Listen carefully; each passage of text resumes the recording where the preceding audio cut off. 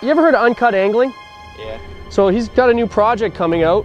We're competing against Aaron right now. We're fishing straight between now and tomorrow night at 10 p.m. It's called 39 hours. So there's Team Manitoba, Team Saskatchewan, and then we're Team Shimano. And it's all species, largest measurement of each species. So anything goes as long as it's within the regulations. Let's go catch some of them big mamas. You guys are going down! Crush one, man. Must convert situation. You gotta do some things that most people won't do. rock structure and fish down there.